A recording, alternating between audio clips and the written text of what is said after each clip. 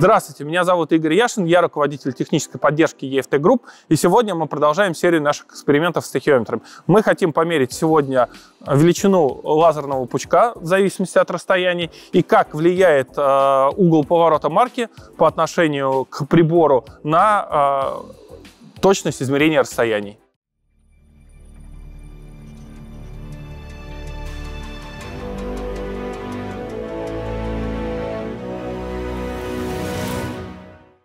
Сегодня мы взяли два прибора, TS10 2 секунды, он полностью поверен и исправен, и TS1, аналогичная ситуация, полностью исправных два прибора.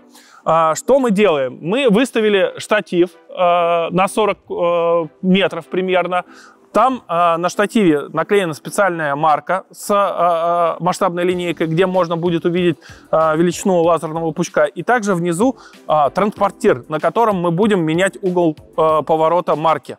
И так раз-таки мы, первое, выполняем две задачи. Э, будем смотреть величину пучка, на этом расстоянии, ну, на 40 метров. А дальше мы будем э, крутить марку на 15 на 30 градусов и на 45 и смотреть, как изменяется расстояние. Чтобы показать нашим э, зрителям, как будет меняться расстояние. Когда вы, например, на стройке, э, у вас нет возможности встать под прямым углом на марку, и вы измеряете. То есть нужно быть очень аккуратным э, в данной ситуации, когда у вас марка под каким-то углом. Но мы будем все смотреть. Давайте переместимся сейчас э, к, э, к нашей марке, посмотрим величину лазерного пучка на 40 метров. Итак, мы переместились к нашей конструкции. А, как видите, она состоит из а, транспортира а, с градуировкой и масштабной линейки с сантиметровым масштабом. Здесь мы видим сейчас несоосность, она присутствует, да. Высота пучка порядка сантиметра, ширина порядка 0,5. Давайте запомним эти величины и сравним их с TS1 когда его поставим в триггер. Но сейчас в первую очередь мы будем измерять расстояние TS10 э, и поворачивать марку. Мы провели серию измерений и получили 44 метра 202 миллиметра расстояния. А сейчас мы повернем марку на 15 градусов по отношению к прибору и посмотрим, насколько изменится расстояние. Мы провели серию измерений, э, получили результат 44 200 2, то есть э, на 15 градусов у нас нет почти отличия э, в расстоянии. Проводим дальше наш эксперимент, поворачиваем на 30 градусов и проводим также серию измерений. На 30 градусах мы получили результат 44.204, то есть уже примерно 2 миллиметра погрешность. Да? А, поворачиваем сейчас на 45 и по идее расстояние еще должно увеличиться. Смотрим. Мы провели измерение при 45 градусах и получили расстояние 44 208. То есть разница с первым измерением, когда марка была перпендикулярна к нам, уже порядка 6 миллиметров. То есть представляете настройка, какая у вас появляется погрешность. Да? А, избегайте таких углов поворота, а, даже если у вас прибор лейка. Теперь мы то же самое проведем с прибором TS1. Снимаем сейчас с этого триггера и в тот же триггер вставляем TS1. Э, Поворачиваем марку снова в перпендикуляр в ноль и начинаем наше измерение.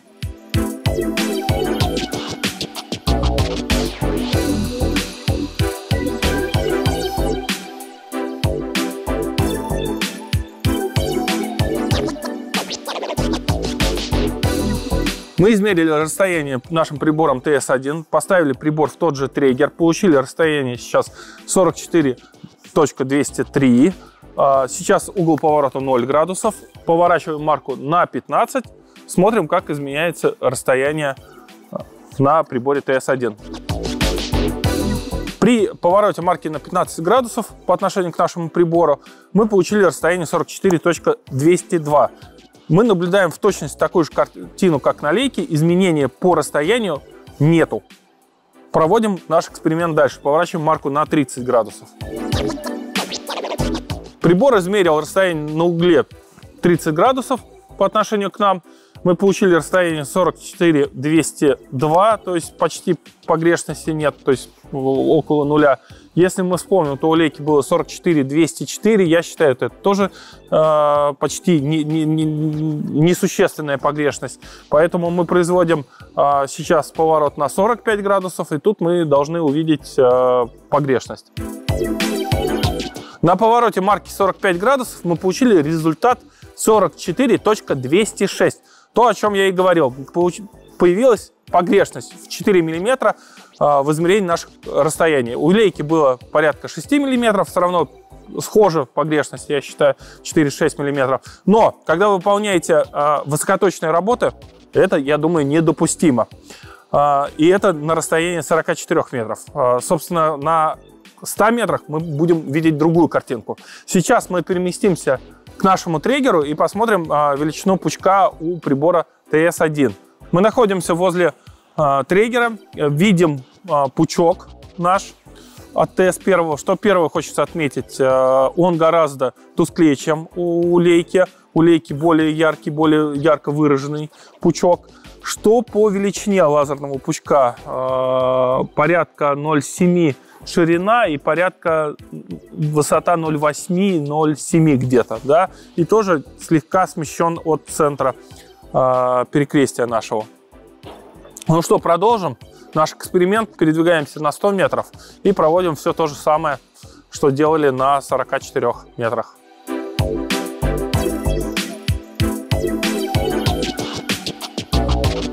Мы вернули в триггер TS10, измерили расстояние, получили 103 метра 360 миллиметров. А, сейчас угол поворота 0 градусов. А, мы будем также на нуле 15, 30 и 45 смотреть, как меняется наше расстояние. Сейчас мы переместимся к нашей марке на штативе на, расстоянии 100 метров и посмотрим размер пучка. Мы видим наш пучок, он увеличился ровно в два раза. Сейчас вы видите нижнюю границу минус 1, верхняя 1, по ширине 1. То есть э, высота 2 сантиметра, ширина 1 сантиметр. Если вы вспомните э, предыдущую станцию, то было 0,5 на 1. То есть увеличение ровно в два раза, что в принципе и логично. А, пучок уже не такой яркий, как, у, а, как на 40 метрах. И мы видим, что, да, что четко он смещен вправо относительно центра. Да? Мы получили результат 103 359, э, марка повернута на 15 градусов. Я считаю, что это незначительное изменение расстояния. То есть, в принципе, видим такую же ситуацию, когда измеряли на 44 метра. То есть при угле 15 градусов изменений нет по расстоянию. Сейчас марка повернута на 30 градусов, и мы провели серию измерений. Получили результат 103 363. Разница с первым перпендикулярным расстоянием уже 3 миллиметра. А, мы уже получили погрешность в измерении расстояния. Что будет, если мы повернем на 45 градусов? Давайте посмотрим. Кружка хорошо держит. Мы сделали последнюю серию измерений. Марка повернута к нам на 45 градусов. Мы получили расстояние 103 367 миллиметров. То есть разница с первым расстоянием, которое, когда марка была перпендикулярна, 7 миллиметров уже. А, мы сейчас меняем прибор и смотрим, какая ситуация с ТС-1. Может, что-то увидим более интересное. Мы поменяли снова прибор, поставили ТС-1, измерили первое расстояние, марка перпендикулярна, получили результат 103.360. А, сейчас мы переместимся, как и в прошлый раз, э, к к нашему штативу, где триггер с маркой, посмотрим э, размер пучка, сравним его с лейковским. Пойдемте. Мы видим наш пучок, э, его размер 2 на 2. Э, надеюсь, камера передаст его размеры. При дневном освещении его видно хуже, чем лейковский. Но и наш пучок чуть больше лейковского по ширине. Если вы помните, лейковский был порядка сантиметра, да, высота также 2. А, наш чуть шире. А, теперь сейчас а, проведем серию также измерений и посмотрим, насколько это повлияет ширина пучка на таком расстоянии. Марку повернули на 15 градусов, измерили расстояние, получили результат 103 360, то есть как в принципе и у лейки, и на любом расстоянии на 40 и на 100 метрах у нас э, нет изменения в расстоянии на 15 градусах. изменения появляются на 30 и на 45. Поворачиваем дальше на 30. На 30 градусах, как и у лейки, мы видим ту же самую погрешность. Мы получили расстояние 103 363. Когда у нас перпендикулярно было измерено 103 360, 3 миллиметра погрешность при повороте на 30 градусов. То есть два прибора показывает. То есть уже можно сделать вывод, что при 30 градусах, когда вы высокоточные работы выполняете, стоит избегать. Ну, э, ситуации бывают разные. Мы сейчас поворачиваем на 45 и смотрим, что при 45 получается. Мы сделали последнее измерение на TS1 на 45 градусах. Получили результат 103.367, 7 миллиметров погрешность. И а, мы имеем такую же погрешность, как и в Leica TS10. То есть в точности а, картина повторилась по расстоянию 7 а, миллиметров. Давайте подведем итог. Что мы получили? При угле 15 градусов марки по отношению к прибору, у нас погрешности нет ни у TS1, ни у TS10. Если марка повернута по отношению к прибору на 30 градусов, то у нас возникает а, погрешность порядка 3 мм. Причем мы видим ее как и на 40, так и на 100 метрах. А, если марка повернута по отношению к прибору уже на 45 градусов, то мы видим погрешность порядка 6-7 миллиметров при выполнении каких-то высокоточных работах, которые, ну, при строительстве, э, эта ошибка недопустима. А чаще всего, как, когда возникает эта ситуация? Когда вы делаете засечку. Мы знаем, что геодезисты, приезжая на объект, не всегда могут удачно выставить прибор по отношению к маркам, их геометрии. Да?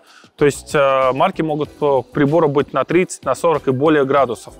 Мы предлагаем данные марки исключать из вашей засечки, потому что мы видели в эксперименте на 45 градусах у вас была погрешность 7 миллиметров. Это очень много для засечки. Что показал наш сегодняшний эксперимент? Даже у исправных приборов, э, поверенных сервисным центром, есть такой нюанс, как э, несоосность визирной оси и дальномера. Кстати говоря, э, лейковский э, сервисный мануал говорит, что допустимым отклонением лазерной оси от оси визирования является такое, э, при котором точка визирования находится внутри границ лазерного пятна. Картинка, кстати, передо мной сейчас. Ошибка измерения расстояния, возникающая из-за острого или тупого угла между плоскостью марки и оси визирования прибора, имеет две причины. Первое – это несоосность. Кстати, мы э, снимали видео, как э, можно избежать эту ошибку. Измеряйте при двух кругах, круг лево, круг право. Э, ссылочка на видео обязательно появится.